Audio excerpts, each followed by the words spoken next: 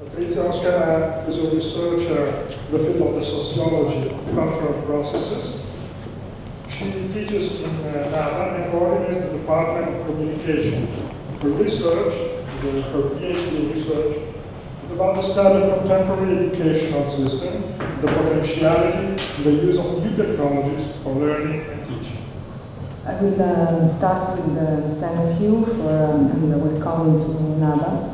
And uh, I would like to say that I really appreciated your uh, um, speak, uh, speech, uh, yesterday's speech, because uh, they, in different way, opened uh, my mind in the direction of my research. They led me to understand different point of view, maybe fresh view, like uh, Luisa that uh, praised on a body, which is the importance of body in our uh, technological uh, environment, and then uh, um, this called uh, presentation because I really understand their uh, environment also.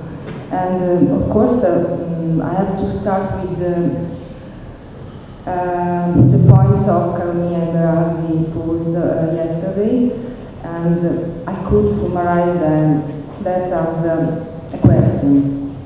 Is there any way to go out of current catastrophic situation where business doesn't find any real position in education? I synthesize their question in, in this uh, form.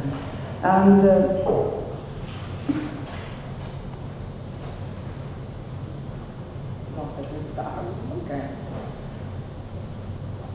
I have not the, the, answers, of course, of this question, but uh, I try to pose new questions about uh, what uh, what is happening in the educational field.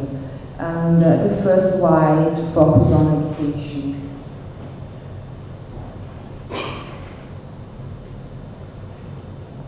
I try to make another question that is. Um, can the education system be considered as an expression of contemporary social control over individuals? Of course, it could be a banal question, as we said yesterday and today. But um, because it's uh, banal, it's interesting to understand what is the origin of this uh, question. So, my question becomes, what is the origin, pro original problem connected with of social control? And I tried to make a, a synthesis of what uh, we can uh, understand in uh, educational field with the, the, the um, watching them as a social control. Education is a cultural, political and economical process based on exchange between generations in order to safeguard and actualize the social resource of the community. I can start with this kind of concept.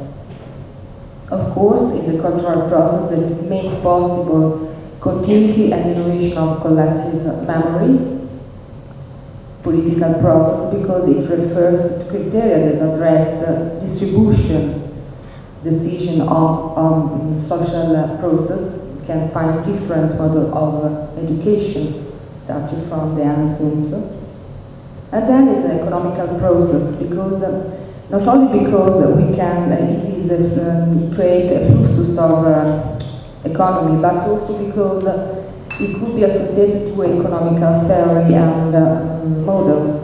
So, it, for, for, example, in our previous definition of education, I could um, it could be associated to investment, where we have uh, parts of uh, continuity resource and um, a possibility to actualize them.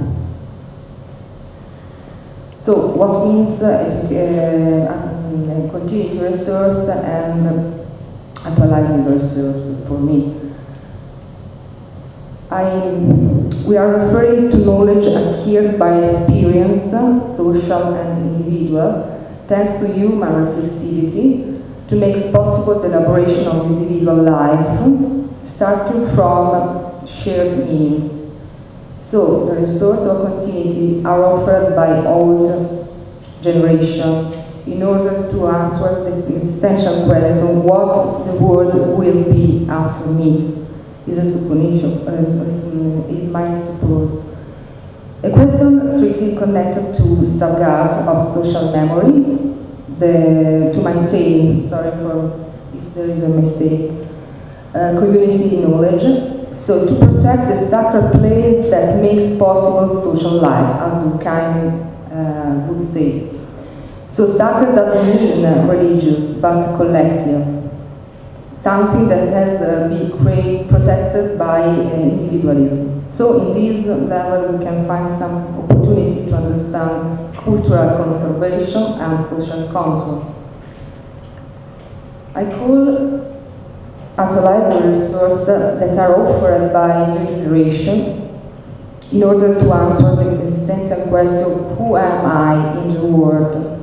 So a question that could be strictly um, uh, linked by physical exchange and uh, includes emotional and cognitive experience as well as uh, research of answer about death and origin of life, about individual mission in the world uh, and in society, in which uh, in this place we can, in this resource we can suppose there are cultural innovation, opportunity and social change. Okay, I separate the but it's just for recompose at the end. So although this is a, a, process of knowledge transmission and innovation based on exchange between generations, my supposition, education process has also been defined through control practices aimed at limiting the potential risks of cultural innovation naturally based on the new generation